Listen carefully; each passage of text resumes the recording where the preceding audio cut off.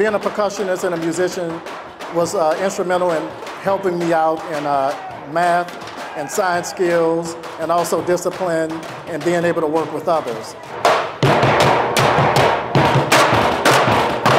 So I think this is a great opportunity for the kids. So parents, please, if your kids are old enough, if they're in middle school or high school, uh, please have them uh, audition and fill out the applications to be a part of the summer camp.